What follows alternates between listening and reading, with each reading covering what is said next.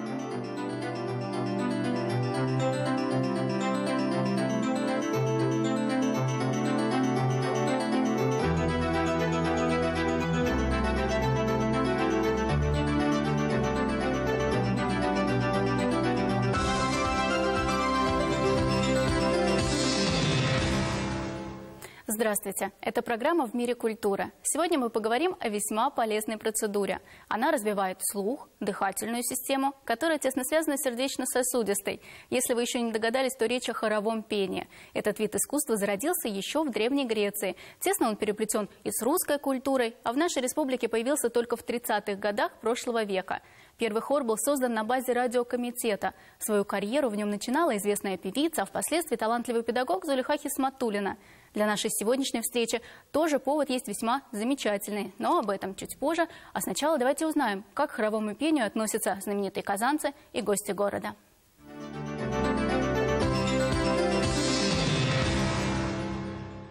Вообще хоровое искусство – это основа музыкальной культуры. Хоровое искусство – это то, что нацию объединяет. Посмотрите страны прибалтийских республик, посмотрите э, не знаю, э, Германию, э, очень высокая хоровая культура. В оркестре Академии Санта-Чичилия хор 300 человек, понимаете? Значит, э, это говорит о том, что дети, которые не умеют еще владеть музыкальным инструментом, но умеют владеть своим голосом, которые одарены музыкально, они развиваются очень быстро благодаря э, пению, скажем, в хоре. Вы знаете, что и Шаляпин пел в церковном хоре, и многие, так сказать, знаменитые люди начинали свои первые шаги в музыке именно с этой ипостаси. Искусство уникальное, а, объемное. Звучание хора, настоящего хора, ничего не может заменить в вокале, я имею в виду. А, и пример, а, примеры великих хоров у нас э, в России, а в Германии, на Западе очень э, развито это. Это что-то уникальное. Вот сидишь, слушаешь, и как будто ты уносишься куда-то так высоко и так глубоко, и вот испытываешь такое блаженство в ощущениях, что это ни с чем не сравнимые чувства. Я хорошо отношусь к хору. Э, занимался, у нас целый раздел был хоровое пение, и мы в театре поем хором, есть хоровые номера, так что для меня это не, не чужой совсем жанр. Э, отношусь к нему крайне уважительно и с пониманием. Ну, может, на концерте когда-нибудь были? Я, конечно, безусловно, бывал. Ну, неоднократно я слышал какие-то хоры интересные. Совершенно... Причем я думаю, что это жанр, который совершенно безграничные возможности дает. От какого-то камерного хора до огромного какого-то, да, мощного. Это очень интересно. Это какая-то коллективная душа национальная выражается через хор. Почему вот хор? Вот сидели за столом и э, ой, мороз, мороз. Это что же хор? А это народ выражал так свою душу. Поэтому такое вот это выражение национального характера. Вот я думаю, что лучше всего народ понять не через солиста, а через хор. Я сам очень много лет пел в хоре. А, я помню, что мое даже вот а, такое образование. Я состоялся как музыкант, мне кажется, в том числе благодаря хоровому пению. В музыкальной школе я пел музыку Рахмайна, Перголези. Это, эти сочинения до сих пор стали для меня э, ну, одними из самых любимых. Они очень сильно повлияли на меня как, как на человека, личности, как на музыканта. Это целая культура, это большой пласт э, искусства. И даже э, нам, татарам, хотя у нас до революции, считается, не было хорового э, пения, но было унисонное пение. Это, в общем-то, э, шаг, э, такой эволюционный шаг перед э, созданием хора, возникновением хора. Поэтому это близко в той или иной степени всем народам и населяющим землю. Э, Еще, кроме того, мне это близко и интересно тем, что в самом хоровом исполнительстве заложен феномен некого ритуала. Это ритуализация песни, выведение ее из бытового, тварного мира на уровень сакральный.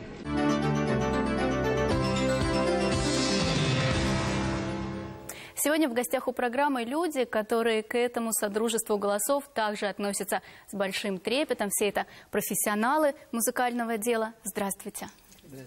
Сейчас в Казани идут последние приготовления к амбициозному проекту «Поющая Казань». Участниками сводного хора должны стать полторы тысячи исполнителей. А, Айгуль Алмасовна, как вот а, шли приготовления к этому проекту? Как возникла идея? Вы знаете, нам эту идею подсказали ветераны. В ходе подготовки э, праздничных мероприятий к 70-летию Победы именно ветераны высказали свое пожелание, чтобы все вместе собрались, от мала до велика, и спели песни военных лет, того времени, той страны, которая победила. И еще в позапрошлом году мы создали сводный детский хор. У нас на территории города Казани в детских музыкальных школах ну, порядка 40 – это только в школах системы управления культуры. А то есть детские хоры тоже будут принимать конечно, участие? Конечно. Основная, основная, скажем, часть исполнителей – это как раз дети, порядка тысячи человек – это учащиеся детских музыкальных школ. А ведь еще а, профессиональные хоры тоже участвуют. И вот а, государственный Конечно. камерный хор Республики Амироша Амировна. Почему вы решили соединиться а, с любителями?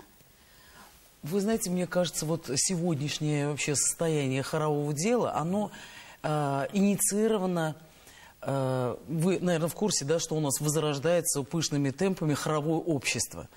Так вот, хоровое общество, оно инициировано как будто э, от правительства России на очень таком высоком, беспрецедентном уровне. Э, но вы понимаете, без поддержки вот этой вот и без слияния самодеятельного искусства, детского хорового пения, профессионального, если мы навстречу друг другу не пойдем, мне кажется, что вот такой тотальной охваченности хоровым искусством, одержимости этого вида искусства все-таки мы не добьемся. И поэтому мне кажется, что профессиональное искусство как раз должно стать во главе в, как такая централизующая, мобилизующая сила. И в этом мы видим свой, ну, если хотите, гражданский долг. Вот сейчас так красиво говорили о том, что все-таки хор является выразительным именно национальной идеей, именно тем камертоном, который транслирует обществу, в каком сегодня состоянии общества. Поэтому, наверное, вот эти актуальные проекты, там, «Битва хоров», Хор турецкого, спасибо им при всем неприятии вот самого этого жанра, э, как сказать, искусства, но все-таки отдельная благодарность за то, что в нашу жизнь э, популярно вошло слово хор. Хотя бы за это вот признательность. И вот сейчас наша задача в обществе все-таки сформировать вот эту потребность в хоровом искусстве. И чтобы охвачено было тотально все общество. Ну, вот эта вот идея объединяться, она интересна всем хоровым коллективам, а не Рафисович. Вот, а, как вы с вашим ансамблем решили? Я думаю, идея объединения, она лежит в самой идее хора. Как говорят, соборность, главная идея хора. И хор такой музыкальный инструмент, который очень легко может объединить так скажем, в процессе исполнения совершенно разные коллективы, на совершенно разном репертуаре и даже разном стиле. Могут объединиться и народные коллективы, и детские, могут объединиться мужские, женские хоры, как угодно. Мне кажется, тут сама основная идея объединения, это, я считаю, самое главное. То, что искусство через пение в хоре объединяет людей. А вот эта вот а, возможность а, поработать как-то с другим материалом, это интересно тоже? То есть а, я знаю, что не разовая будет акция, не только 9 мая, но и дальше. Да, какие? Верно. Мы стартуем а, именно 9 мая а, этого года. Это будет на площадке перед Казань-ареной. Но хотелось бы, чтобы вот эта форма, вот как все поддержали и сказали, что это единение всех – хоровом искусстве, в хоровом пении, чтобы это было такой стало традиционной формой проведения общегородских праздников. А у нас их много, слава богу. Но вот когда в расположении не 50 голосов, а полторы тысячи, то наверняка можно позволить себе больше в плане вокала. А вот а, технически это как? Кто расскажет? Мне Какие кажется, сложности? мне кажется, что как раз в плане вокала здесь определенные трудности есть, потому что как раз вокально объединить профессиональных, хоры ветеранов, детских хоры, это а, это достаточно трудно все-таки, потому что на сегодняшний день это такое пестрое у нас, и слава Богу, что оно пестрое, это зрелище вот а, разнохарактерности, разноплановости наших коллективов, что у каждого есть самостоятельный какой-то вектор э, исполнительский. Объединить вокально может быть и трудно, а вот идеологически объединить, мне кажется, вот это самое, э, самое прекрасное. Вокруг идеи все-таки первично вот этот вот посыл и э, вот это какой-то чисто идеологический посыл, понимаете, объединяться. И тогда, мне кажется, а технические трудности, конечно, есть.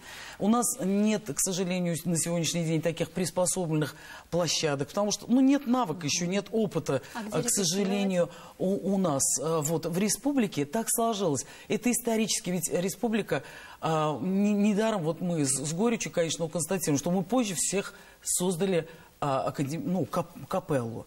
Э, в то время, когда уже в Удмуртии, в Марии уже была. Ну, монодельная республика, одноголосная. У нас в традициях э, как будто не было и, да, так привито, как это столетиями привито, например, для там, православного общества или там католического, да? Вот. У нас молодое это искусство, все-таки это вид искусства для нашей республики. И поэтому вот прецеденты нужно создавать, и мне кажется, что вот этот пилотный проект, который обязательно вот уже есть э, назначен такой международный хоровой день. Угу. Это будет 24 мая, в день Кирилла и Мефодия, славянский, день славянской письменности, когда мы должны а, обязательно объединиться и создать вот такой многотысячный хор. Как его создавать? Силком затаскивать? Нет. Это люди должны, вот хоровики наши, поднять градус своей сознательности до такой степени, чтобы с желанием, с огромным желанием поучаствовать в этом хоре. Но ведь главное, это привлечет новых зрителей, потому что выступление будет на улице. На улице массовое, и самое главное, оно даст обществу, наше общество невероятно любит петь. Все-таки песни, это вот, э, вот мы готовим проект сейчас «Любовью из страны Советов».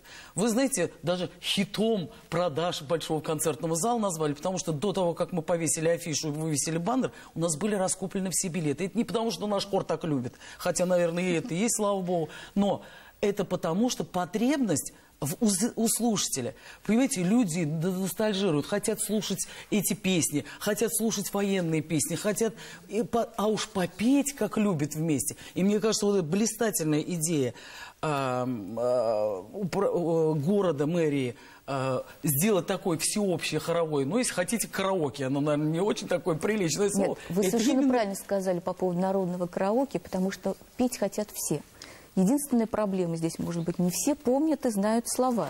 И поэтому, э, почему еще выбрана была эта площадка, там есть самый большой экран, mm -hmm. на котором мы предполагаем, как подсказку, Слова. Текст песен, совершенно mm -hmm. верно. Ну да. что же, это уже совсем скоро. Так что а... участниками хора будет не только порядка там Хор. двух тысяч хоры, да. это будут все зрители. Поэтому, пользуясь случаем, мы все приглашаем всех жителей города Казани, гостей столицы, на наши народные караоке. И День Победы встретим вместе. А пока давайте посмотрим а, выступление Государственного камерного хора Республики Татарстан.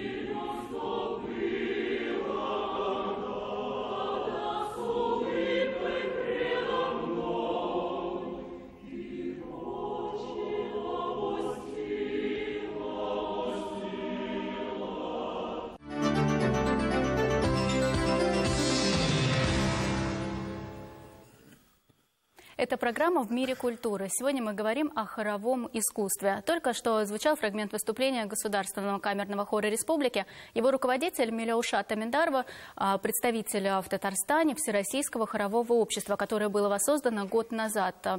И а, в России до революции было сразу несколько подобных организаций. Вот традиции подхватили в стране Советов, а постепенно ну, начало угасать хоровое пение. Вот сейчас как, как это начинает возрождаться.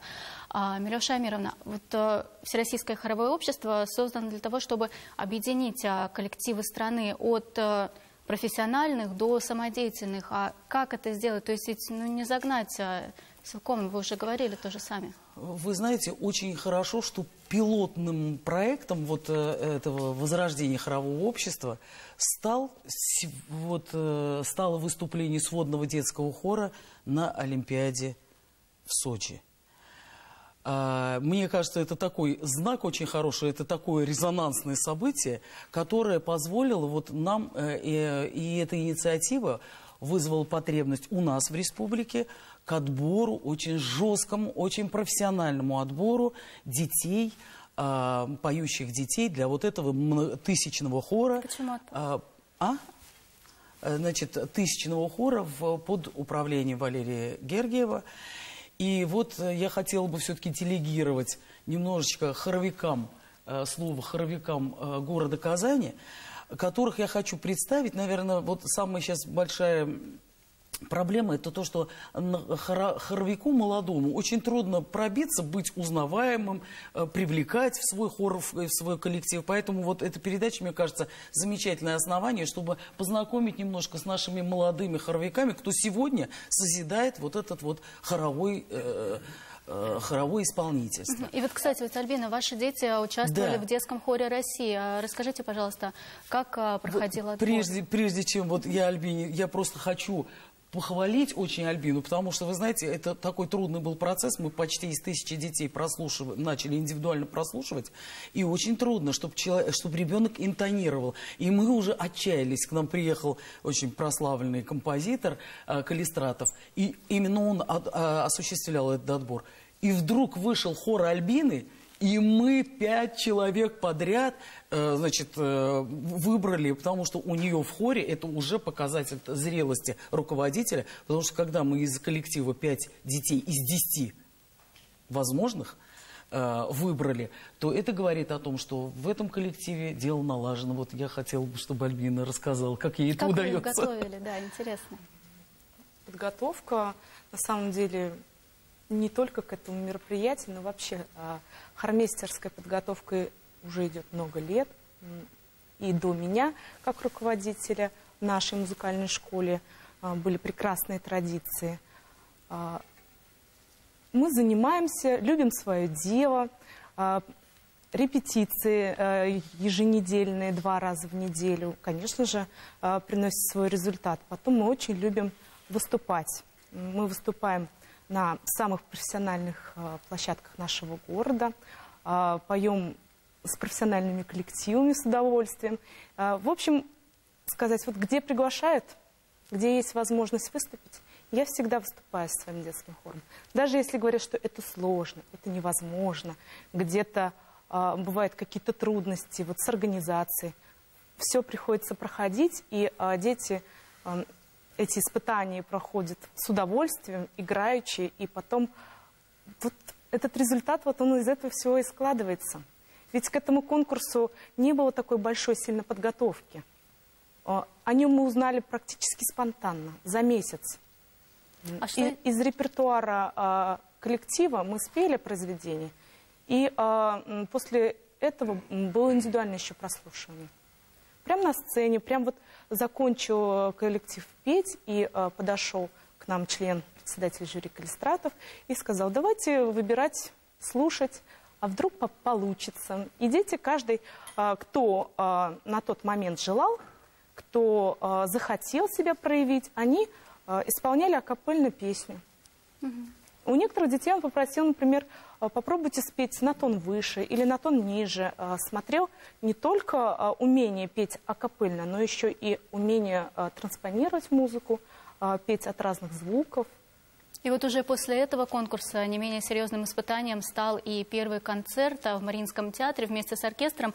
И, э, Рубин Кабирович, э, часто вместе с хором звучит и орган.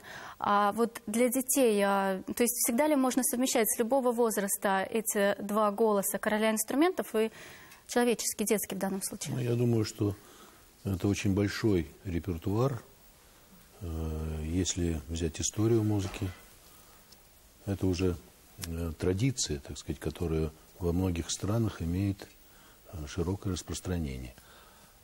Но должен сказать, что и в Татарстане, э, если заглянуть вглубь истории, есть эта традиция. Да? Скажем, деятельность такого уникального специалиста, как Степан Васильевич Смоленский, с его экспериментами в области духовных песнопений, которые привлекли внимание Танеева, и он пригласил его в Москву для, для того, чтобы основать синодальное училище. Смоленский казанец. И он вернулся после э, многих лет путешествия своего в Москву, Петербург. Если мы вспомним э, султана Габяши, крупнейшего просветителя – и деятеля музыкальной культуры. У него 11 хоров, и таким образом часто бытующее заблуждение, что татары поют только монодию, только мелодию. Нет, э, крупнейшие умы и таланты человечества, они всегда обращали внимание на мировые тенденции в области культуры. И должен сказать, что университетская капелла, которая существует более чем сто лет, э, вложила свой э, вклад в хоровую культуру Татарстана. Ну, если говорить о личностях, скажем, мне очень близко э, деятельность Александра Сергеевича Ключерева в ансамбле э, песни и танца, для которого он сделал массу хоровых обработок. Причем сделал это с таким мастерством, что они могут исполняться на любом фестивале, на э, любого уровня. И это будет э, э, не просто заметным событием, это будет явление татарской национальной культуры. Я не могу не сказать о, о той традиции, которая э, существует в области образования. Вот э, Айгуль Алмасовна сказала, что более 40 хоров – детских, только в музыкальных школах. Но не будем забывать, что это целая система. Из школы люди поступают в училище, потом в консерваторию и попадают на кафедру хорового дирижирования. Э, как не вспомнить здесь Семена Абрамовича Казачкова, который в течение 50 лет возглавлял эту кафедру и воспитал э, целую плеяду музыкантов, которые занимаются, э, собственно, здесь почти все последователи Казачкова вот, на этой передаче. Занимаются хоровым искусством и занимаются подготовкой э, молодого поколения. Просто так э, булки на деревьях не растут. Да? Э, человека нужно воспитать, нужно научить петь в хоре. Э, потребность петь есть в каждом человеке, и поющий человек – счастливый человек – но, однако, петь в хоре – это значит точно понимать и свое место, чувствовать внутри коллектива, да, и в звуковой картине, и, и почувствовать себя частью вот этого коллектива. Это удивительное ощущение э, счастья, которое не забывается никогда. Я вспоминаю, э, как я ехал в воскресной, забитой до отказа электрички – и встретился э, глазами с э, давно знакомым человеком. Когда мы вышли на станции, он сказал, какое счастье, что мы вместе пели в хоре. Это были первые его слова.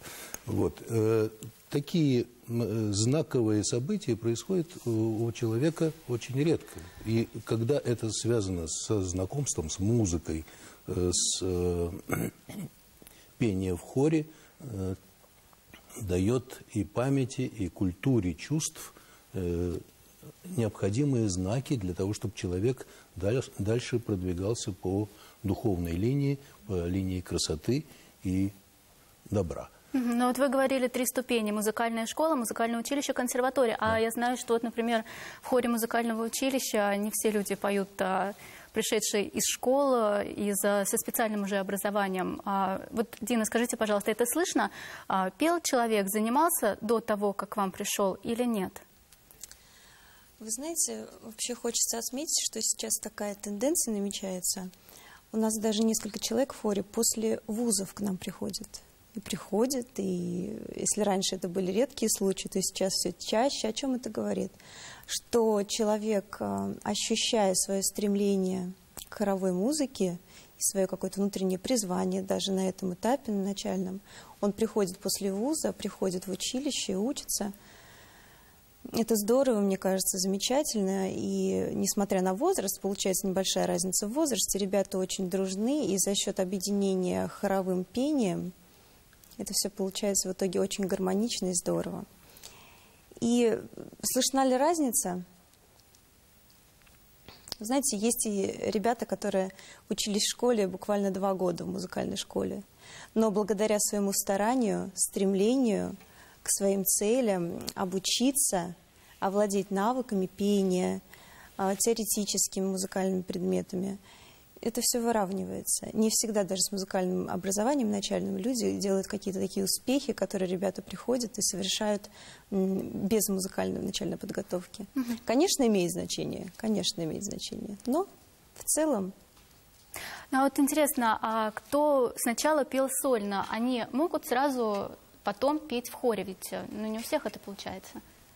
Как вы считаете? Если... Я могу поделиться своим опытом. У меня в государственном ансамбле песни и танцев в хоровой группе практически 90% артистов – это солисты-вокалисты, которые окончили вокальное отделение музыкального колледжа, консерватории, университета культуры. Я могу сказать, здесь, наверное, самое главное – грамотная профессиональная работа руководителя хора, который может приладить, уладить, даже, кажется, казалось бы, совершенно такие, ну, скажем, разные голоса. И хоровое пение, оно не противоречит сольному пению. Просто в сольном пении, я всегда говорю, есть большая возможность проявляться индивидуально, но в хоровом пении проявляться индивидуально тоже можно, но там еще есть одна тоненькая маленькая вещь, как хоровой унисон, и это совершенно другая э, краска человеческого голоса, которая не просто как несколько человек поют, а устремление разных людей начинает вдруг объединяться. И я могу сказать, что хоровое пение прежде всего дает очень большую школу для солиста-вокалиста. Почему? Он становится намного профессиональнее. Он начинает совершенно по-другому относиться к своему голосу, попев в хоре. И мне кажется, это только улучшает его. Ни в коем случае не портит. Мне иногда говорят, вот солисту нельзя петь в хоре. Но в государственном ансамбле все наши самые выдающиеся солисты когда-то пели в нем в составе хора и ничуть от этого хуже не стали. Это а совершенно если... точно. Угу. Потому что я могу к этому добавить э, биографию, скажем, такой известной певицы, как Зиля Сунгатулина, которая окончила дирижерско-хоровое отделение в училище, а потом поступила на вокальный факультет. А э, Миша Казаков, солист Большого театра «Бас», который вырос э, в хоре э, у Семена Абрамовича Казачкова. Или Альбина Шагимуратова. Альбина Шагимуратова, да. Леша Тихомиров. Да, да вот видите, целый букет. Так что тут никаких противоречий нет. Ну и главное, что ведь пение – это такой вид искусства, который понять может каждый. Вот возвращаясь к детскому хору России, напомним его составе, дети со всей страны, в том числе из Татарстана, по 10 от каждого региона, их первое выступление состоялось на сцене Мариинского театра. И давайте посмотрим, как это было. Это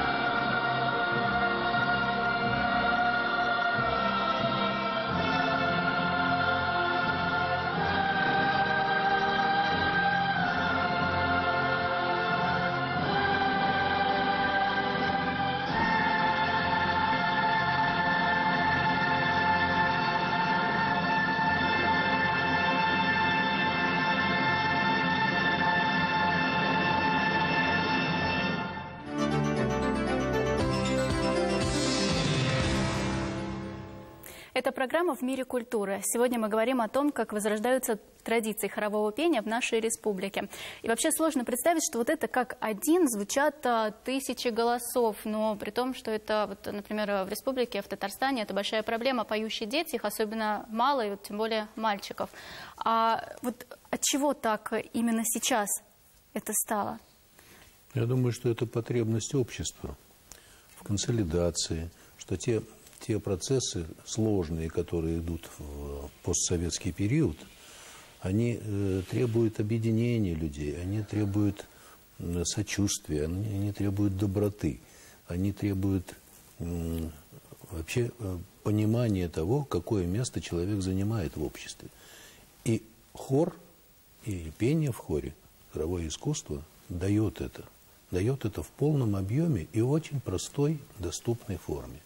Поэтому потребность э, петь в хоре, потребность отдать детей э, для того, чтобы они попели, это нормальный, нормальный отзвук, так сказать, нормальная, нормальная реакция на все события, которые происходят. Нам, нам хочется преодолеть все те шероховатости, все непростые обстоятельства, в, котором, э, в которых мы иногда существуем, и поэтому мы тянемся к тому, что нас объединяет, что гармонизует э, общество вокруг нас. Но вот сейчас как-то тянется меньше людей, чем, скажем, а, в советское время. как вы считаете, можно эту проблему как-то изменить, решить? А, решить ее, мне кажется, можно только, когда мы поставим в центр вот этого хорового развития обязательно личность, и личность одержимую. Вот, на мой взгляд, вот в воспитании, вот сейчас вот весь этот педагогический кластер, он должен работать на то, чтобы оптимальные условия создать для человека, одержимого в самом высоком смысле слова, который не может не петь, не может не созидать. Вот у нас есть на кафедре такой, такой замечательный профессор Альфтин Владимир Булдакова, который в хор приводил даже из подземного перехода ребят. Она вот одного мальчика, я его знаю, причем у него хорошее будущее, он сейчас работает э, там в театре, поет и так далее. Она нашла его в подземном переходе. Понимаете, он сидел и играл на гитаре. Вот э, я знаю прецедент э, Ульянова. Э, Владимира Павловича, да, он когда-то руководил школой, к сожалению, к величайшему сожалению, приказала долго жить э, хоровая школа мальчиков. Вот это, я считаю, серьезнейшая проблема нашей республики, которую мы экстренным способом должны как-то решать. И привлечь и власти, и попросить, и консерватории всех. Надо создать капеллу мальчиков. У нас нет поющих парней. И вот э, этот замечательный человек Ульянов, мы, я сейчас не, не берусь рассматривать и его там исполнительство, его там вокальные какие-то там, значит, э, э, методики. Я сейчас его как одержимого человека, как подвижника, который закрыли школу здесь, он уехал в Верхний Услон и собрал там образцовый коллектив в Верхнем Услоне. 45 поющих мальчиков и 35 мужчин. Мужской хор, образцовый коллектив России. Вы знаете, вот я считаю, что таких людей, вот если мы не поддержим, это неправильно. Мы должны культивировать и, и возводить именно вот, вот культ, это ключевое слово, э, личности, которые собирают вокруг себя поющих людей. Понимаете, как бы то ни было, не, может быть, не разбирать, может быть, снисходительными быть к вопросам технологии. Потому что вот я знаю, и девушки, наверное, мне не дадут э, соврать, особенно что касается детских хоров. Ну, мы все время ставя какие-то высокие, вы должны спеть акапелла, трехголосие, а нет материала, чтобы петь акапеллу трехголосие. И, к сожалению... Надо, да, извините, что э, доскажу просто мысль. А, надо сделать так, что, чтобы ребенок ну пусть не акапельно, ну пусть не трехголосие, но он должен петь, он должен прийти и испытывать удовольствие. И вот буквально вчера меня пригласили, я все время, значит, это, осуществляю помощь. Вот у меня есть этот бацилл, я не могу без хора жить. Мне хоть хор ГИБДД, сейчас меня пригласили, значит, в медуниверситет, девушка. А давайте об этом после рекламы. После рекламы, хорошо. Реклама.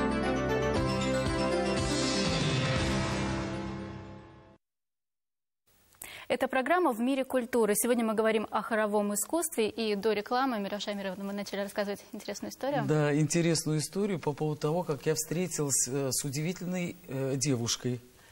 Лиля Королева, э, значит, артист, ну, не артисты, а ее хоровики, это студенты медуниверситета, сказали «королева». Скажите Миляуше Амирну, что она королева, потому что действительно девочка без музыкального образования на абсолютно общественных началах в студ-клубе э, собрала ребятишек. И вот они меня пригласили на репетицию, чтобы я им помогла там подготовиться к их там ответственному выступлению. Я была поражена. Вы знаете, мне впервые не захотелось даже вот со своими профессионализмами и вокалами внедряться. Столько в этих детях было правды, столько в них было искренней радости от того, что они поют вместе, столько естественности в выборе репертуара. И она скромно на меня смотрела, она говорит, я уж не могу дирижировать. И не надо, детка, не дирижируй, не надо вот академической сетки, потому что в ней самой столько музыки и э, одержимости вот этим искусством. Вот я считаю, что таких людей мы должны просто всемерно поддерживать. Но если все-таки говорить о людях э, с образованием, то есть э, не только талант, но и э, дипломы музыкального училища, консерватории, то вот куда потом уходят люди? Все ли становятся, идут дальше работать по профессии? Вы знаете, у меня есть очень хорошие примеры даже моих одногруппников, которые, получив великолепную базу в Казанском музыкальном колледже, учась на хоровом дирижерском отделении, получив эту базу, они идут дальше, не обязательно по профессии, но при этом это им очень хорошо помогает в жизни. И они поступают с успехом, учатся в разных вузах страны, у меня есть э, такая одногруппница, которая проучилась в Санкт-Петербурге на звукорежиссерском отделении, сейчас вернулась к нам в Казань. И я так, насколько я понимаю, Рубин Кабирович, мне поправите, у нас работает в консерватории. ЛСР? Да. Да. Да, то есть она успешно. вернулась уже с этой базы к нам сюда, в Казань. А, есть примеры, когда люди уезжали после училища и, может быть, даже после консерватории, и становятся симфоническими дирижерами. То есть хоровое дирижирование – это такая специальность, конечно, я буду ее хвалить. Мне кажется, мы все ее обожаем, без нее не можем жить. И действительно, широчайший спектр возможностей. Хоровой дирижер, он может, все, можно так скажу, да? Он может организовать свой коллектив – вокальный ансамбль небольшой, может работать с детским хором, он может работать с профессиональным хором, он может э, петь в хоре сам.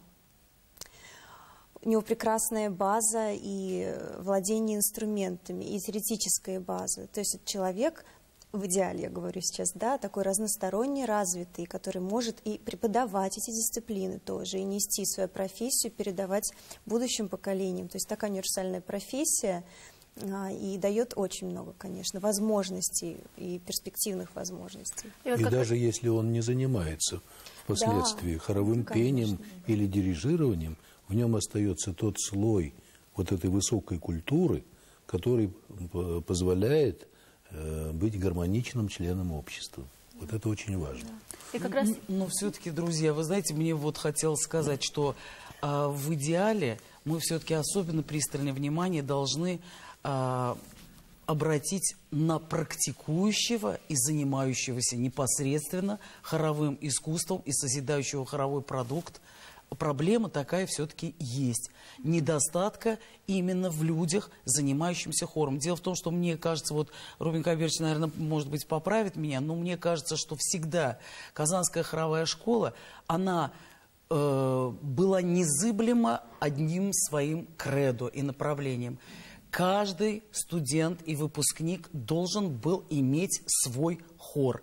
И никогда не позволялось, чтобы человек разглагольствовал о хоровом искусстве, не создав хотя бы квартета. И вот сейчас мы должны направить, потому что проблема вот такая есть. Вот я, например, испытываю колоссальные затруднения в поиске хармейстера. Я вот сейчас обращаюсь к человеку, который способен взять, продумать программу, продумать э, о своей публике, о, об ее адресности. Вот получается какая-то непонятная ситуация. То есть э, выпускников много, а Артистов нет? То есть что, они уходят У нас, к сожалению, мы сейчас, вот э, учебный план настроен так, что э, мы очень заняты теоретическими э, какими-то, а вот эта практика работы с хором, она не, не входит сейчас, всегда входила в госэкзамен, была частью госэкзамена. То есть человек был просто обязан для того, чтобы получить диплом, он должен был показать свой хор. Вот Конечно, есть и объективные показатели, потому что сейчас э, ну, нет просто ну, должностных единиц, наверное, каких-то штатных единиц при каждом там коллективе, чтобы э, таких хормистеров, потребностей нет вроде бы в хормистерах. Но на самом деле она вот в профессиональном искусстве, она очень есть. Именно в людях, созидающих и умеющих сладить э, хоровой процесс. Я вот как раз хочу спросить вас, Нияс Рафисович, о вашем коллективе. А сколько людей, выпускников профильных учреждений культуры? Все. Все. Все. И я думаю, что тут республика свою обязанность по подготовке кадров в вузах, в учебных заведениях, она абсолютно выполняет. Мне кажется, я бы хотел несколько по-другому повернуть вообще нашу беседу. Потому что мы сейчас начали говорить о таких узкопрофессиональных вещах, а нас все-таки смотрит очень широкий круг зрителей слушателей. Мне кажется, вопрос тут в чем? Профессиональное искусство, да, оно существует на профессиональной основе, но оно не может существовать, если не будет самодеятельных форм существования искусства. Я объясню. Был такой старейший преподаватель в музыкальном колледже Виктор Васильевич Кузьминов. Вот его к сожалению, нет уже с нами. Он всегда говорил, в молодости он был самым богатым человеком. Почему богатым? Потому что такое количество самодеятельных хоров, у него было по 5-6 хоров. Он всегда мог себе заработать. Он говорил, что вот он на работу ездил на такси, а по субботам, воскресеньям ездил в Большой театр в Москву на премьеры спектаклей. Он говорил, что он хорошо жил что многие так не могли себе позволить, потому что эта профессия, она прежде всего была вот рассредоточена не по учебным заведениям и концертным организациям, а она вот бытовала, жила непосредственно на заводах, в фабриках, и мне кажется, вот эта сторона ушла. И ушла эта сторона вот по какой причине. Мне кажется, вот та скрепа, которая раньше была, так уж назовем, в Советском Союзе, вот эта идеология, она ведь сейчас изменилась, другая стала. Но при этой идеологии вроде как уже самодеятельность не так востребована. Я смотрю и на спорт то же самое. Если раньше в каждом дворе была хоккейная площадка, волейбольная площадка, теперь там построили что-то другое там. Но зато благодаря профессиональным коллективам поклонники музыки в Казани регулярно получают подарки. И одним из таких, конечно, стал мюзикл «Семь жемчужин» от государственного ансамбля песни и танца. Смотрим фрагмент. Thank you.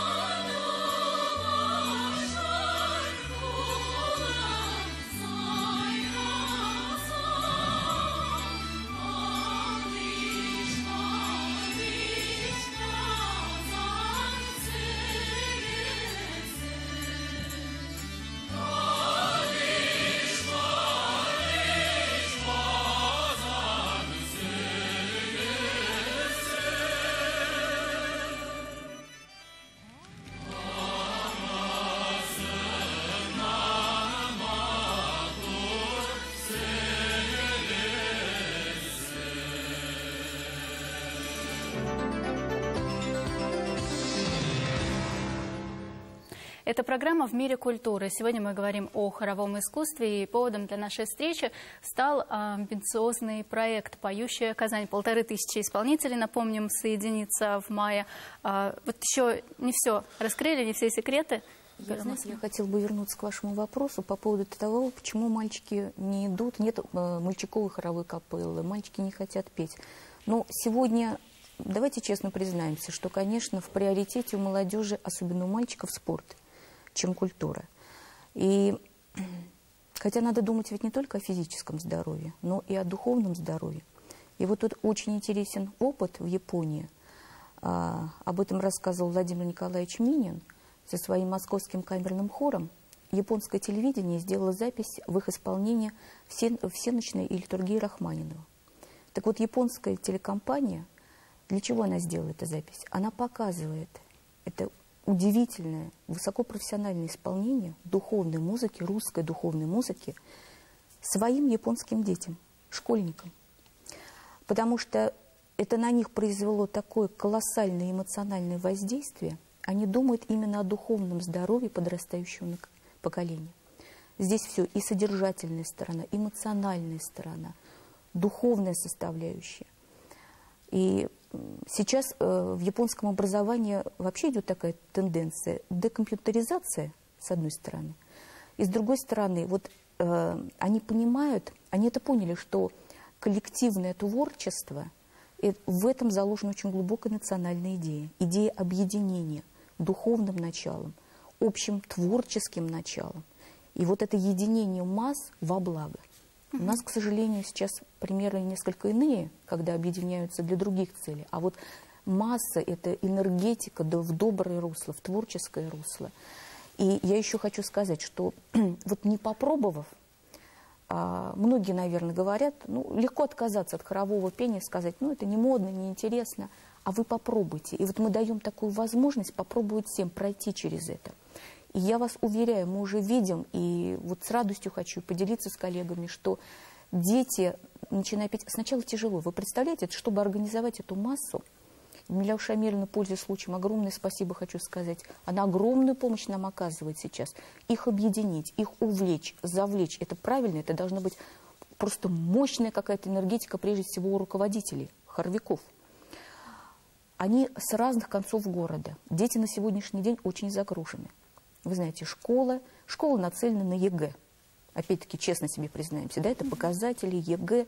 Эстетический блок вообще ушел. Гуманитарный блок тоже на задворках у нас в образовании. И вот музыкальные, художественные школы оставшиеся, возможность самодеятельных коллективов петь, заниматься творчеством, это очень важная составляющая для детей.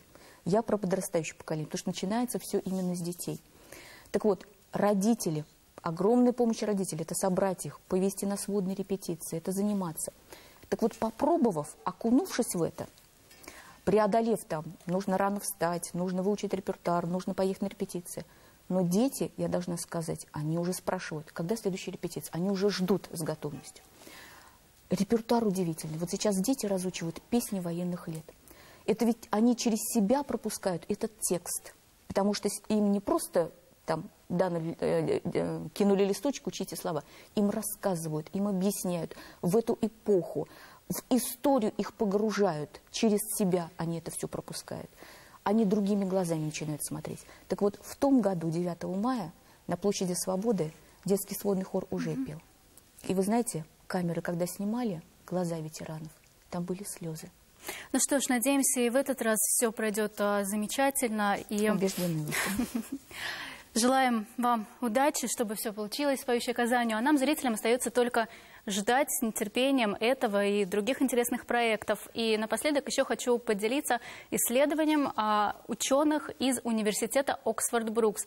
400 человек по их просьбе поделились на группы – хоровое пение, вокал и спорт в командах. Каждый из этих видов деятельности положительно влияет на психологическое здоровье, но максимум баллов здесь у хорового пения. Именно этот вид искусства дает человеку роль, потому что в большом коллективе качество зависит от каждого. И, как следствие, это помогает улучшать и жизненные вопросы. Спасибо всем большое. До свидания. До свидания.